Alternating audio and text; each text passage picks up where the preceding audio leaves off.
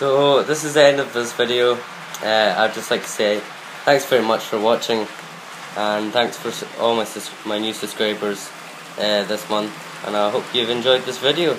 So yeah, thanks for watching and bye bye.